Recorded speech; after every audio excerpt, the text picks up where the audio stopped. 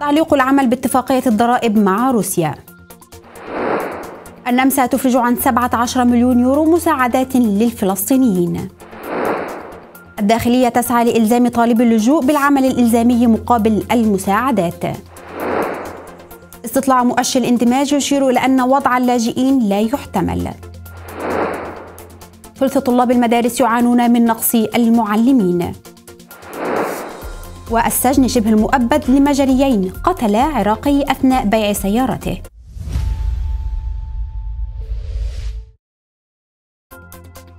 مرحبا بكم في نشرة الأخبار على نمسا ميديا لهذا اليوم.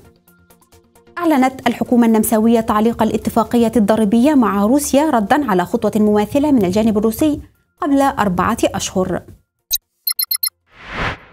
وأوضحت وزيرة الشؤون الدستورية كارولين إيديت شتادلا أن النمسا لن تطبق مؤقتا جميع أحكام اتفاقية الازدواج الضريبي المبرمة مع روسيا في عام 2000 والتي علق الرئيس الروسي فلاديمير بوتين تنفيذها من جانب واحد مع 37 دولة في مرسوم صادر في الثامن من أغسطس الماضي بسبب تصعيد غير ودي بعد التطورات في أوكرانيا. أعلنت الحكومة النمساوية اليوم الخميس عن إطلاق دفعات المساعدات المجمدة للفلسطينيين بقيمة 17.5 مليون يورو بعد تجميدها بسبب هجوم حماس. وحسب وزارة الخارجية استعرض تسعة مشاريع تنمية بدقة لضمان عدم استخدام الأموال لصالح حماس أو الدعاية المعادية لإسرائيل ضمن خمسة معايير أساسية وأكدت الخارجية على عدم وجود دلائل على دعم المشاريع للإرهاب وأوضح وزير الخارجية شالنبرغ التزام البلاد بمعايير صارمة لمكافحة العنصرية والكراهية. تسعى وزارة الداخلية النمساوية لفرض التزام أكبر على طالب اللجوء من خلال أعمال إلزامية في خدمة المجتمع.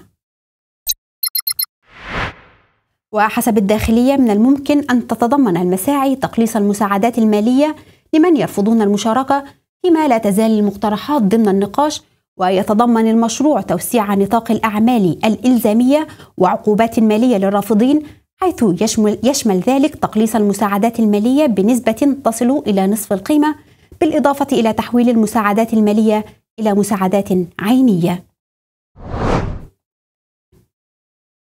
كشف استطلاع حول مؤشر الاندماج الأخير بحسب معهد هايك لصندوق الاندماج أن 60% من النمساويين يرون الزيادة في تدفق اللاجئين غير قابلة للتحمل. وبين الاستطلاع أيضا أن 33% متخوفين من جماعات الإسلام السياسي تلتها قضايا الصراعات بين المهاجرين بنسبة 27% واعتبر 56% أن الوضع سيء أو ليس جيد بينما يرى 41% منهم أن التمسك جيد أو مقبول إلى حد ما وتظهر النتائج توافقا بشأن صعوبة التعامل مع تدفق اللاجئين وطالبي اللجوء حاليا وقد شارك في الاستطلاع ألف شخص.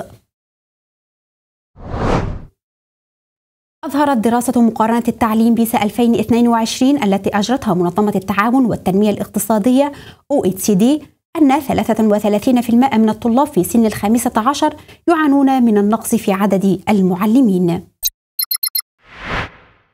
وحسب الدراسة ارتفعت هذه النسبة بشكل ملحوظ من 12% في 2018 و19% في 2015 فيما تعتبر النمسا مقبولة مقارنة بالمعدل العالمي 47% وتشير منظمة التعاون والتنمية الاقتصادية في الدراسة إلى أن تحديد متى يعتبر النقص في عدد المعلمين مشكلة فعلية يعتمد بشكل كبير على السياق الفردي لكل مدرسة.